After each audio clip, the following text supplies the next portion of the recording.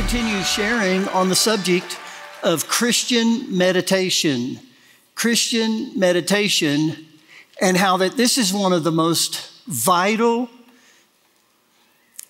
if you will, best practice in my own personal life. And I've seen so much fruit come out of the discipline, the Christian discipline of meditating on the Lord. And what does that mean? What does that look like? And so I want to continue sharing on this. We saw in our last session that our hearts and the meditation of our hearts is the secret place where God meets us. Jesus said in Matthew chapter 6, verse 6. And while all of us can have physical places that are a secret place where we get alone with the Lord and try to shut the things down of the world in our minds and open our hearts up to the Lord, you can find the secret place anywhere because it's your heart. It's your heart. And meditation is a discipline of the heart. It's not memorization like we saw last week, where it's just a mental exercise, but it really is a spiritual exercise and discipline where we're learning to set our mind on things above, not on things below. So let's look at this passage in Psalms 19 again, verse 14. And I just love the way the psalmist says this let the words of my mouth and the meditation of my heart. Meditation is of your heart. Let the words of my mouth, which is a part of meditation, one of the definitions of meditation is mutter, is to mutter. Let the words of my mouth and the meditation of, our, of my heart be acceptable to you or acceptable in your sight, O Lord, my strength and my redeemer. So, believe it or not, everyone meditates all the time, whether they know it or not. One of the reasons it's important that you understand that is because I'll start sharing down this line, and inevitably somebody will come up to me and say, Yeah, you talk about meditating day and night. You're the preacher. Of course, you need to meditate day and night. I got to work for a living. Boy, I don't like that one, by the way. How many of you know again that your mind was created to be thinking all the time? You cannot not think.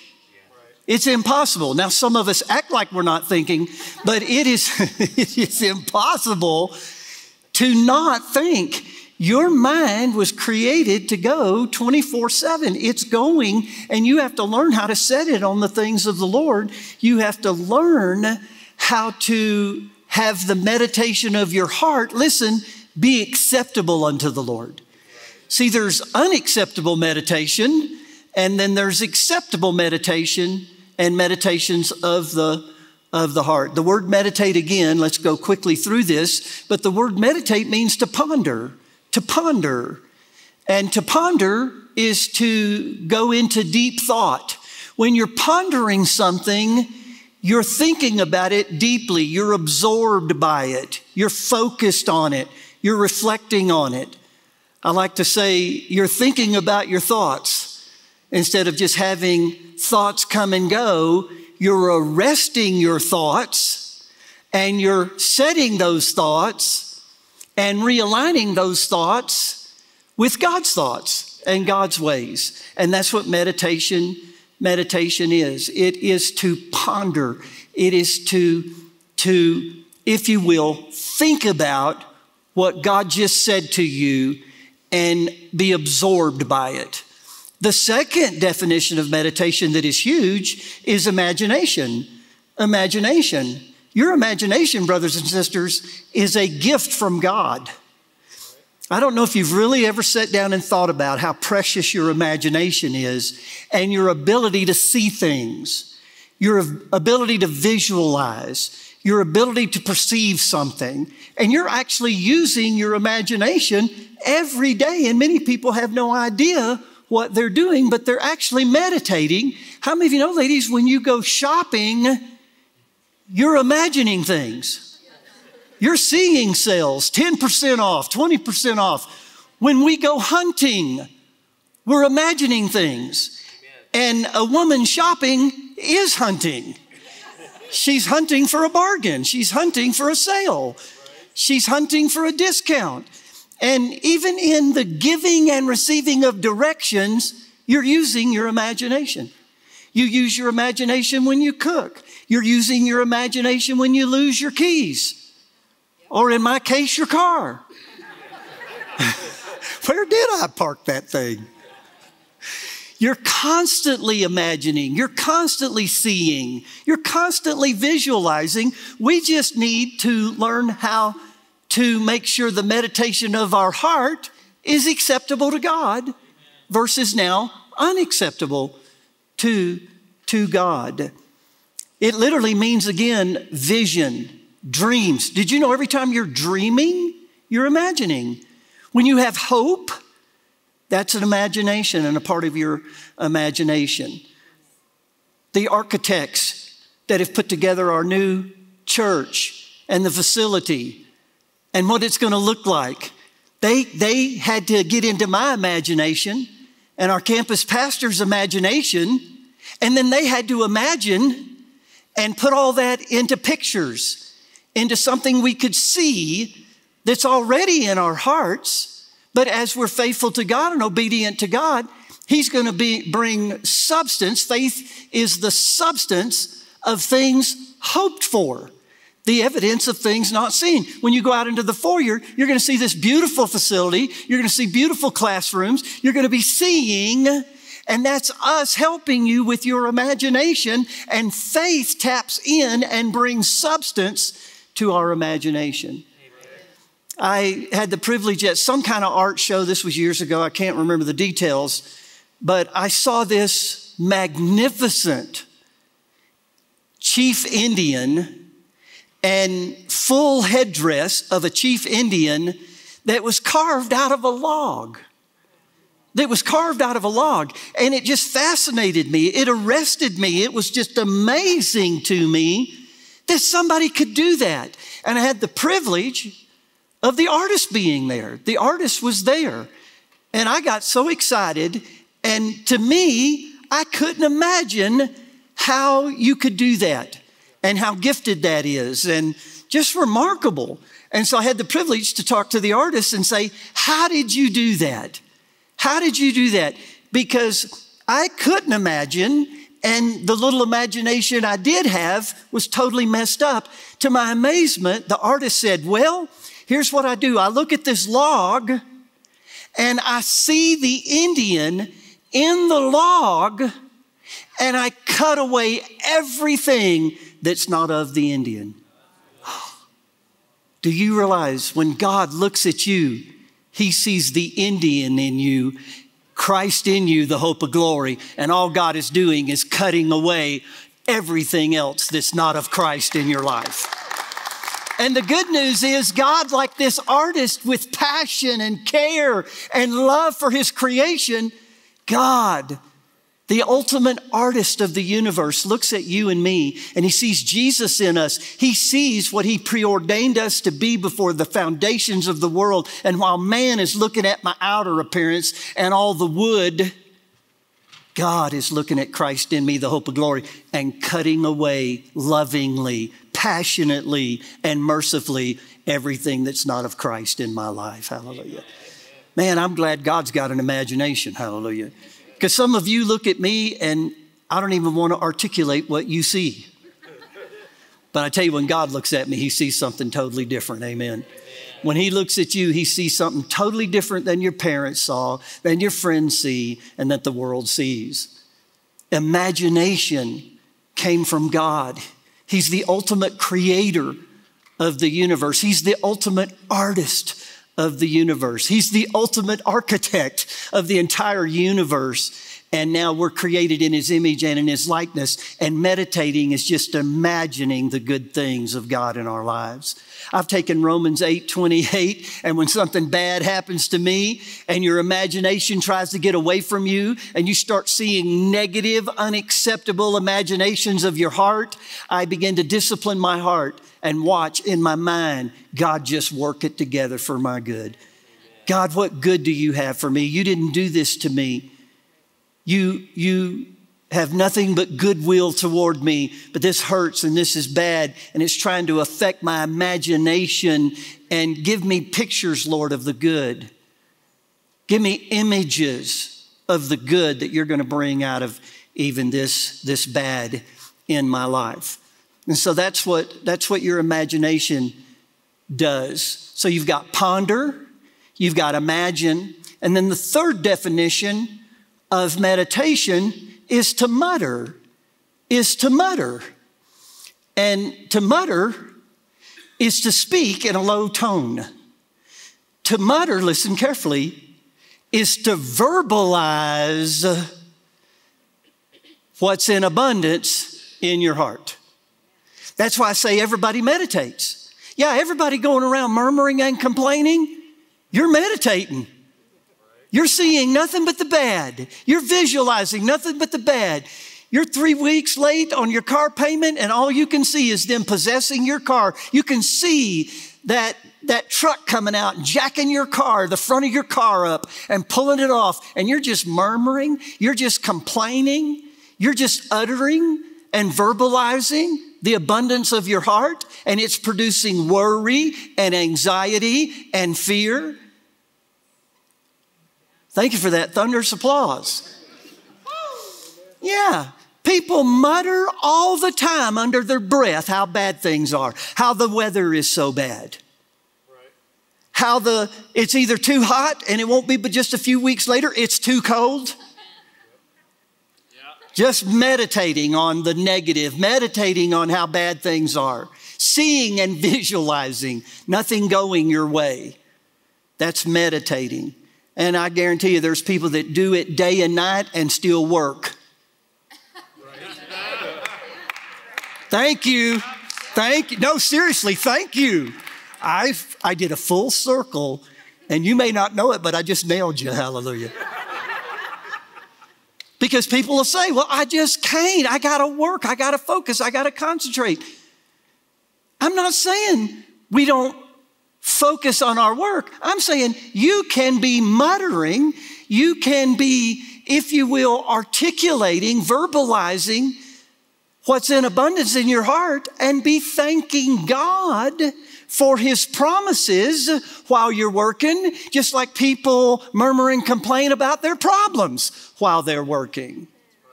Matter of fact, go to Psalms 1, Psalms chapter 1.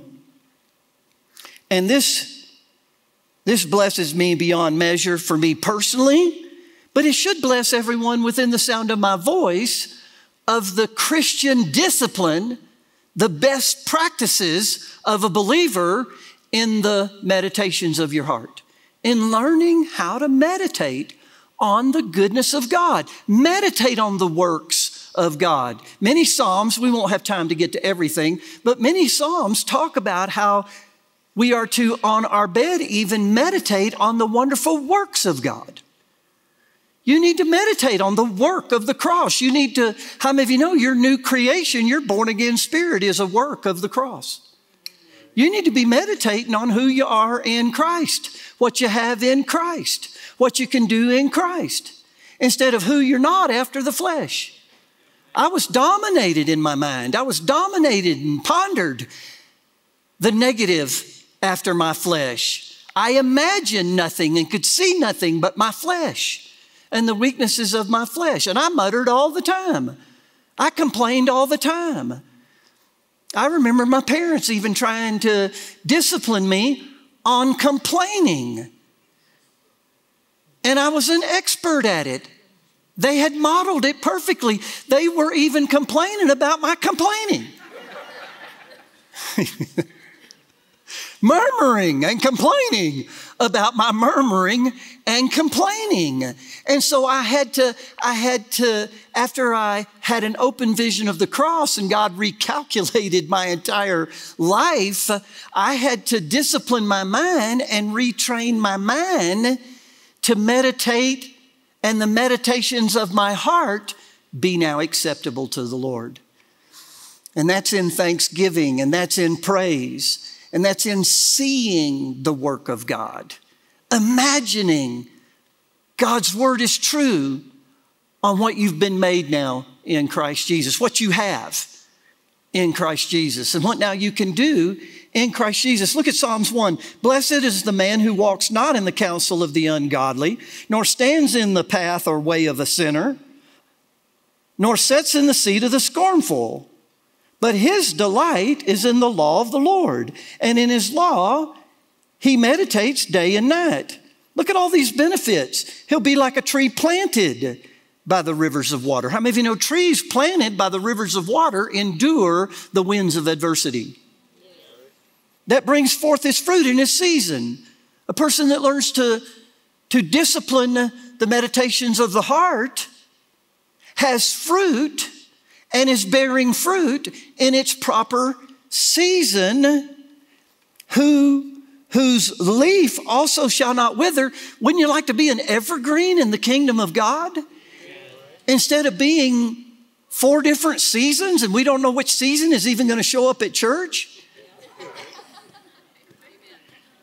You act like you really got that without me explaining it, but it's like, dear God, it's summer and there are no leaves on your tree. It's like winter has set in. I like this. Whose leaf also shall not wither, now, this is the most important part that I want you to get today. And whatsoever he does, whatsoever he does shall prosper. Whatsoever he does shall prosper.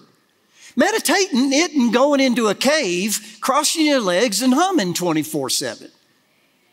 Meditation is not isolation from my vocation but it's learning to discipline my heart and the meditations of my heart in my vocation. And because of the discipline of my heart and the meditation of my heart being acceptable, God blesses my vocation. Amen. This isn't just for the preacher, is what I'm trying to say. It doesn't matter what you do. You're fulfilling God's will, and all of us have a vocation, and we cannot isolate, we can only separate from the world.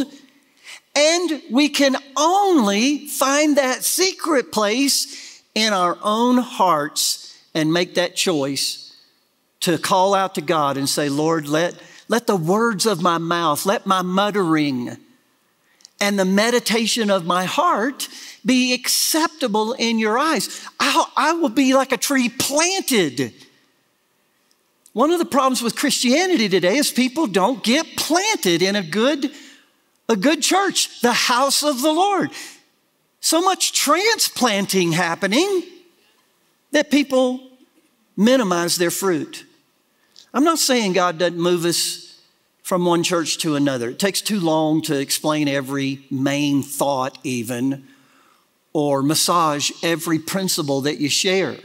There's times there's no doubt God will move you from one church to another church. But all this transplanting and never getting planted is affecting fruit in people's lives. You can take a tomato plant, if you plant it, let's just say it'll give 25 tomatoes. Let's just hypothetically, you'll get 25 tomatoes. Expect 25 tomatoes out of it. Well, if you transplant it, you nearly cut that harvest in half and only get 12, 13, or 12 and a half? I didn't do well in math, but I have a tomato in my brain right now doesn't look very good on a vine. So it's either 12 or 13 tomatoes. What if you transplant it again? And you transplant it again? And what if the tomato plant is following the glory cloud? And the glory cloud is on this church today or this weekend, but the glory cloud won't be there next week. It'll be over here at this church. You know, one of these days, if I was here all the time, you would figure me out. And when you don't like what I say, you would just clap. because you would know I'll move on. Because as soon as you get quiet, oh, I found my secret place that I need to dwell for a moment. Because people have no concept anymore of being planted, of being an evergreen, of bearing fruit in our seasons. And the disciplines of the Christian faith are not just religious. The disciplines of the Christian faith are not legalism. Grace is not opposed to discipline. Grace is opposed to earning something from God. Amen. It's these disciplines that make a huge difference in our lives. And we need to be honest. A lot of people go to church and they'll sit, they'll listen, it'll have an effect on them, but they don't ponder what the Holy Spirit is saying to them. They don't leave with their imagination engaged on what is God doing in my heart muttering truth versus lies, thanking God for his faithfulness and his work in your life versus complaining about what's going wrong and all your circumstances and etc etc this is a christian discipline that will prosper you no matter what you do. Whatever he does shall shall prosper. Look at this. I hope I, I, I got the notes right.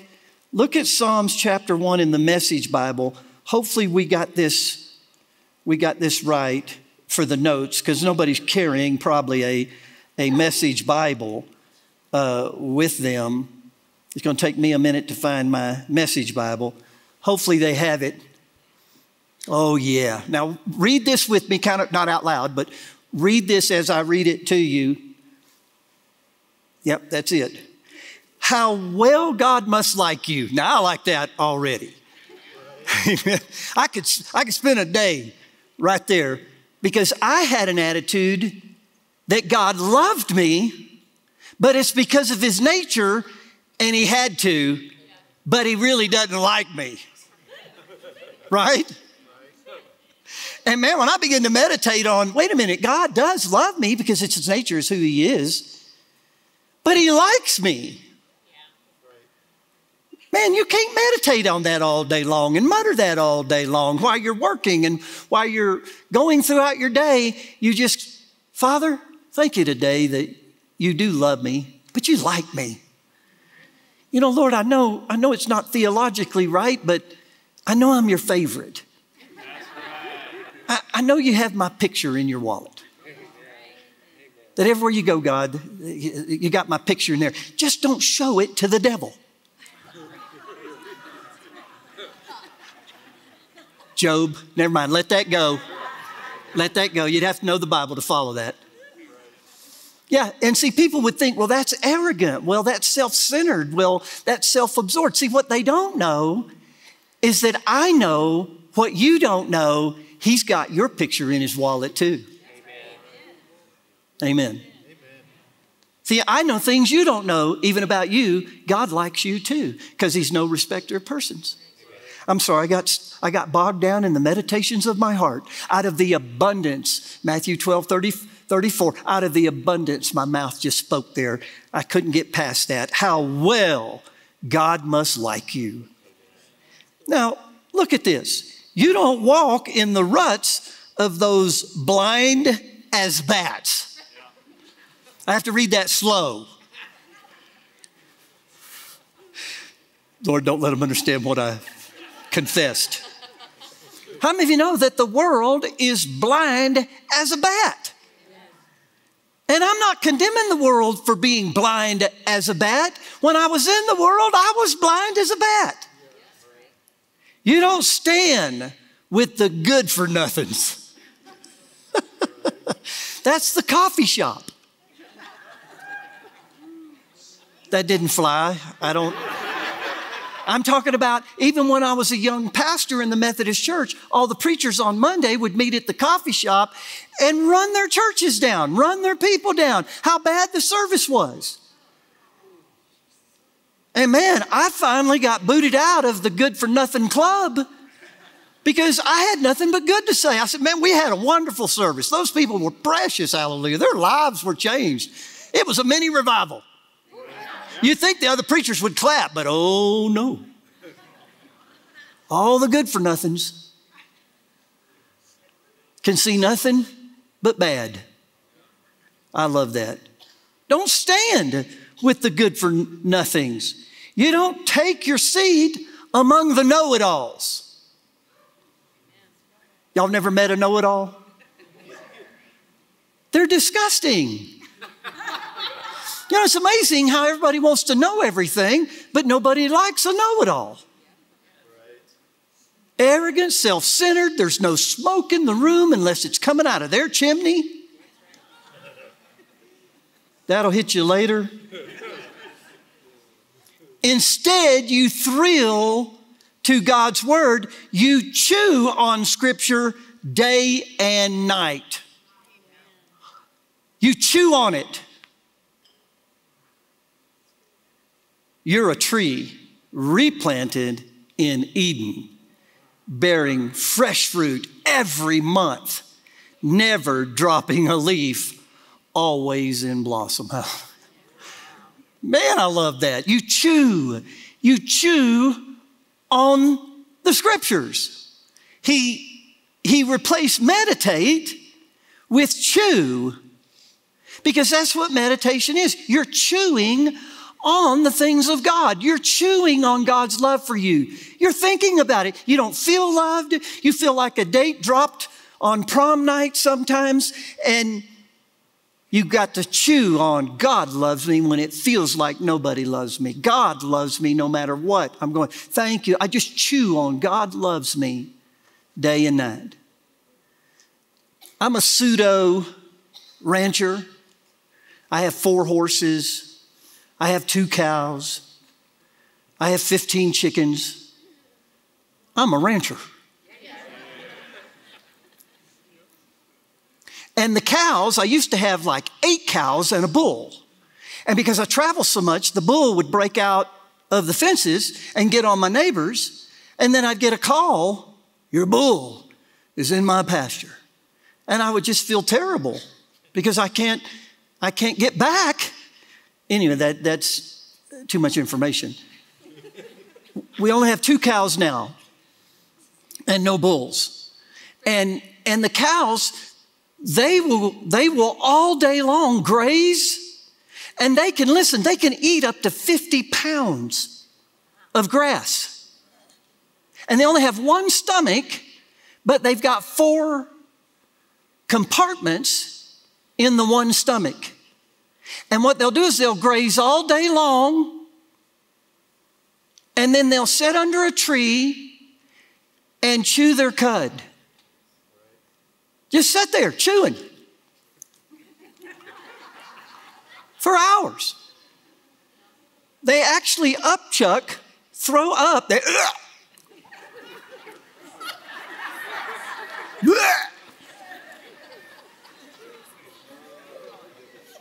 all day long. And they break the, the grass down and the minerals and the nutrients and the vitamins. And then it would go into another compartment of that one stomach. And then it would get in their bloodstream and get into their muscles. And can anybody say, Praise the Lord for prime rib? Amen.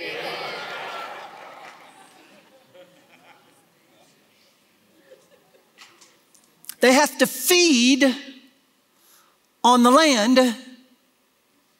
and then meditate on it all afternoon, chewing on it, breaking it down, and assimilating it throughout its system in order for the fruit, the byproduct of that grass that we get to enjoy down the, down the road. When I grew up, as a kid in Orlando, Florida, my dad had a garden year round because of the weather. And uh, our family had a green thing demon on it. And this is when I know people know how to hear. Because I'm going to say this, and I guarantee you some of you aren't going to hear it right. Uh, and my heart goes out to you, you'll get better at having an ear to hear. But when I say green things, I'm not talking about lettuce, green beans, green tomatoes. I'm talking about green things, mustard greens, turnip greens, spinach greens, green things. And my dad had this demon on him, and he would grow these green things all year round. And my mom, God rest her soul, she wasn't a very good cook anyway, uh, but I hated the green things. I'm talking, I hated them. You know, you don't remember things when you're a baby in a diaper, but later in life, mom told me that I used to hide the green things in my diaper. That's how bad I hated them. I like the red things, the yellow things. Oh, I love the brown things. That was usually meat. But the green things, I didn't like them. When I first got married, Sue was learning how to cook for me and the things I enjoyed. And she was from the north, Indiana. I was from Florida, the south. And I couldn't believe she didn't know what okra was. She didn't know what black eyed peas were. How can you be alive and not know what black eyed peas are? And so she was conscious of our diet and wanted to put green things on the plate and so she asked me about this, and I said, Look, if you want to put green things on my plate to make me happy, put $100 bills on it.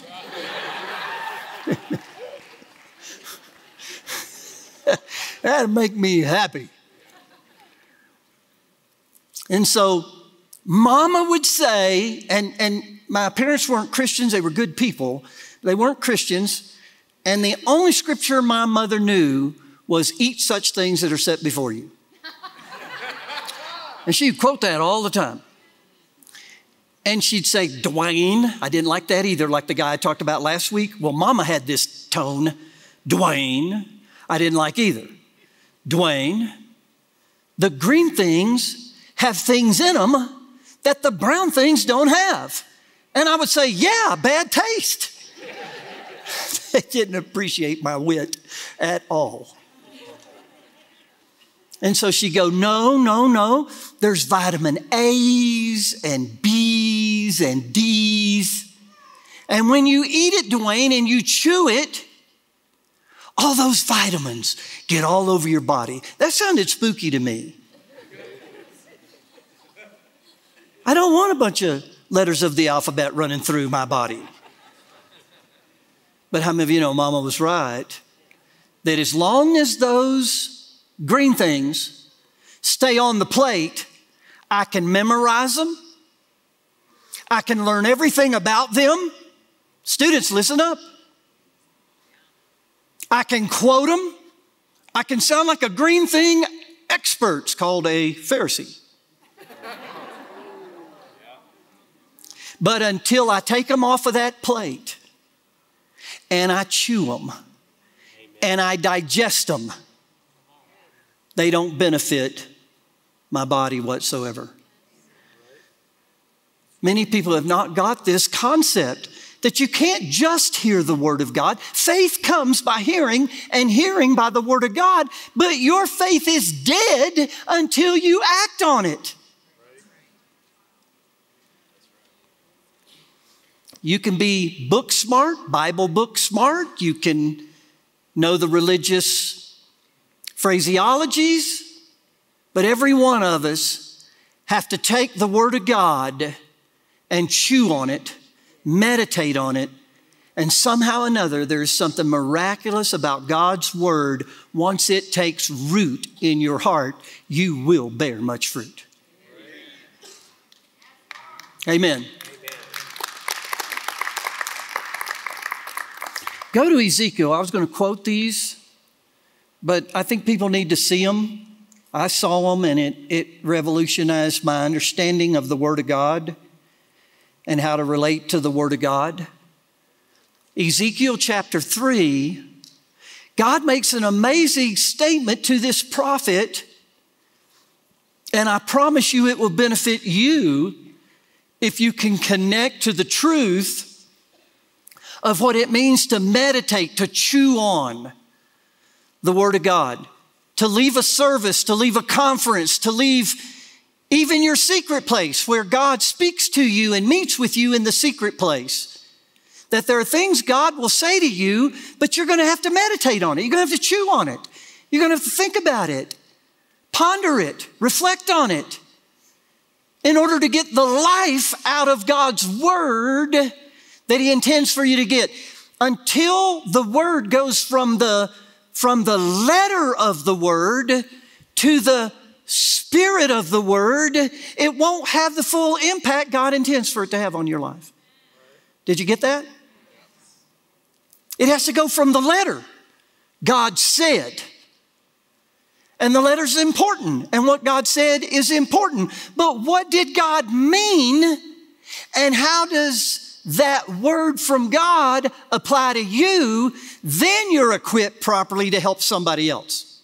We want to jump from a church service of hearing and just the letter to helping someone else, and we create damage many times because what we're trying to say is not alive on the inside of us yet.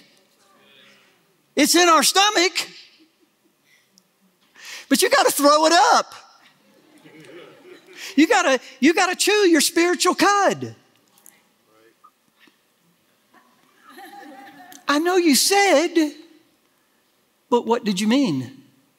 I know you said if my hand offend me, cut it off, but I really need to understand the meaning because I want to write some more books. Are you out there? It's one thing to know God said if your hand offend you, cut it off. If your eye offend you, pluck it out. It's another thing to know what He meant. Amen. To chew on it, to meditate on it, to ponder it, to imagine it, to mutter it where it gets all over your life. Oh, that's good. Look at this, Ezekiel 3. He told me, Son of man, eat what you see, eat this book. oh, I'm sorry. I just get, I see pictures. Can you see him? The scroll, ripping it and eating it? He just told you, eat what you see. That's a part of meditation. And eat this book. Then go and speak to the family of Israel. Until we eat, until we feed, until we are drinking the milk of God's word and eating the meat of God's word, we need to be cautious and careful what we're saying to other people. I'm not saying we shouldn't be saying to other people. I'm not saying we shouldn't be witnessing and sharing the good things of God. I'm saying, have you ate it first before you try to cram it down someone else's face? Many times we're trying to force feed people something of the kingdom of God that we haven't chewed on yet. Amen. This is helpful. You may not understand it yet but this is helpful. Then go and speak to the family of Israel. As I opened my mouth, he gave me the scroll to eat, saying, Son of man, eat this book that I'm giving you. Make a full, a full meal of it. I love you, but a lot of Christians, they just want desserts at church all the time. Give us the desserts. Because there's a lot of desserts in the kingdom of God. Amen? Amen? But how many of you know you need to eat some meat? You need to drink some milk? When Israel, sorry, when, when Israel was told, hey, eat the lamb for the Passover, the Passover meal in Exodus chapter 12, God said, you got to eat all of it. You got, you got to eat all of it. All of it. All of it? You mean like all of it? Yeah, all of it. We just want the ham. we just want the backstrap, hallelujah. And of course, all the desserts. And of course, in the, in the kingdom of God, be not drunk on wine, but be filled with the Holy Spirit. A lot of us just want to get into the wine cellar. Y'all aren't getting this. Yeah, make a full meal of it. So I ate it. It tasted so good. I'm in the Message Bible. Bless my heart. Maybe that's why y'all aren't getting it. My bad. Moreover, he said to me, verse 1 Son of man, eat what you find, eat this scroll, and go speak to the house of Israel. So I opened my mouth, and he caused me to eat that scroll. And he said to me, Son of man, feed your belly and fill your stomach with the scroll that I give you. It's not enough just to get it in our stomach like the cow, you got to chew on it. He goes on to say, So I ate, and it was in my mouth like honey in sweetness. Then he said to me, Son of man, go to the house of Israel and speak my words to them. So, the thing I'm trying to get across, even with our family members, boy, this, I'm not out of time, bless my heart this time. Many times, children struggle with parents because they're telling them one thing, but they haven't fed on it long enough to change their hearts, change their lives, and model to the children what they're trying to say to their children. Amen. So you'll learn. If you, if you would have gave me a standing ovation right there, I would have never brought up parenting and children again. No, no, no, no, it's too late. Too late. Are you getting what I'm saying? Let's, let's help you get it this way. Have you ever had someone talking to you, the Bible, and the whole time they're th- talking, you're thinking, my God, you need to revisit that. right? Come on. Go to, go to the book of Revelation, chapter 10. John's on the, the island of Patmos here, and uh, experiencing one of the deepest, greatest revelations in the whole Word of God, the revelation of Jesus Christ and His overcoming church. Look at, what did I say? Uh, Revelation 10. Go to verse 8, I think. Let me look. Verse 8. Then the voice which I heard from heaven spoke to me again and said, Go take the little book which is open in the hand of the angel who stands on the sea and on the earth. So you've got this angel that's standing on the sea and standing on the on the earth and this angel has a little book. So I went to the angel and said to him, "Give me the little book." And he said unto me, Take and eat it. Take and eat it, and it will make your stomach, notice where it goes first, into the stomach. It'll make your stomach bitter, but it will be sweet as honey in your mouth. Oh my God, did you see the spiritual cud? I'm so disappointed. I've got to get better at this.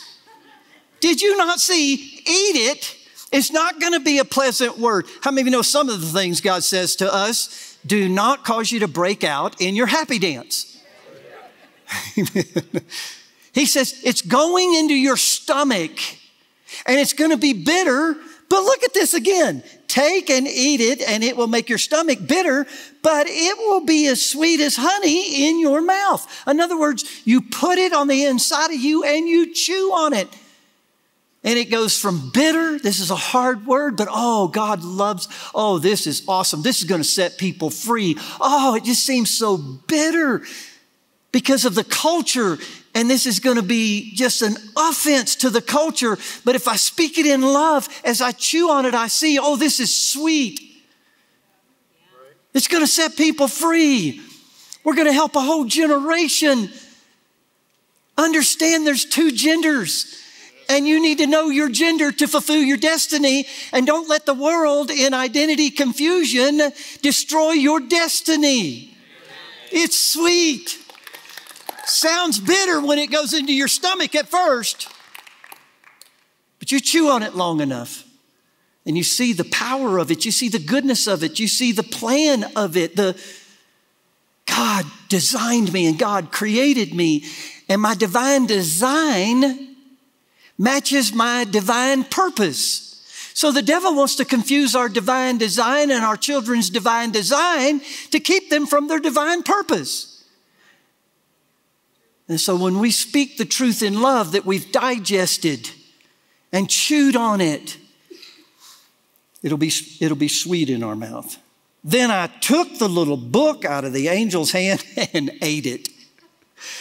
Oh, I used to read that and I saw a little book. And poor John trying to chew up a book. How many of you know you need to get that picture right? You didn't know that either. You need to get that picture right that the Word of God is the book, and we don't chew literally and eat literally the Bible. We chew in our hearts in the secret place the Word of God, and then He rewards us openly in this life. Hallelujah. Amen. I took the little book out of the angel's hand and ate it and it was sweet as honey in my mouth. But when I had eaten it, my stomach became bitter. And he said to me, You must prophesy again about many peoples, nations, tongues, and kings. Before you prophesy, before you speak, and your words would be spirit and life, I want you to, to chew on it, meditate on it day and night. I want you to get all the nutrients out of it, all the vitamins out of it all the minerals out of it in your inner man, where you're not speaking the letter any longer, but you're literally speaking, and your words are spirit and truth. The way we feed on the things of God is meditating on them day and night. The way we feed on today's message is to find something that God is saying to you personally. And don't let it escape. Don't let the fowls of the air, the devil, come and snatch that word out of your heart before it has time to take root, before it has time to be watered. I'm planting. Others and the Holy Spirit will water the seeds as we yield our hearts and the meditation of our hearts to the Lord. Well, I can truly say publicly there is nothing in my Christian disciplines or my best practices, even in ministry, that have affected me as profound as chewing on the Word of God, as feeding on the Word of God. And I just can't encourage you enough to start disciplining all of the students. Start disciplining. Take something. Make sure you take something out of all your classes. I, I used to go to, to, to school and I would spend the same amount in school as you're spending in Bible school. And I would spend another six hours every day going back over what I was taught. A, to make sure it's in the Bible. And to my amazement, some of the things I was taught was in the Bible. That'll hit you later. And then B, what is God saying to me? Feed on it, meditate on it, chew on it. And I was pastoring by my second year of Bible school. I was in full time ministry one year after going to Bible school because that first year I meditated in those things day and night. They got on the inside of me and then they became a part of my person. See, I don't think we understand the word still being made flesh. Jesus was the Word, God, made flesh. But do you realize the Holy Spirit wants to take God's Word and you feed on it to where that Word becomes flesh in your life? You're supposed to be, Paul said, you are an epistle. Talking to the church, you are an epistle read and known of all men.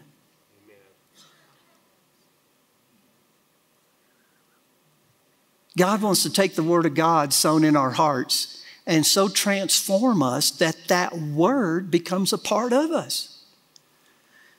I may have just jumped off the cliff for some of you a little bit too deep. But I'm telling you, it's not the word on those pages that is changing lives. It's the word coming off of those pages and becoming a part of who you are now in Christ. Hallelujah. That's changing lives. That doesn't happen casually. Amen. It happens meditating in the word day and night. Well, did anybody get anything today? Hallelujah.